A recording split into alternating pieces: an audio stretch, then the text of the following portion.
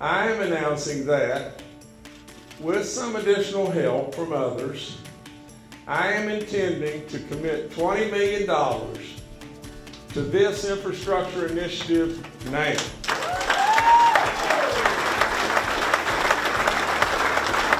There is so much that can be done, but to just think you're going to have a hundred acres, my great Lord of mercy, a hundred acres of level land within a rock's throw of the airport, a rock's throw of the interstate.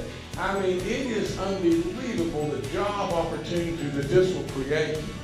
This will bring thousands and thousands and thousands more to an area that's already flourishing like crazy, but you are just now opened up to go.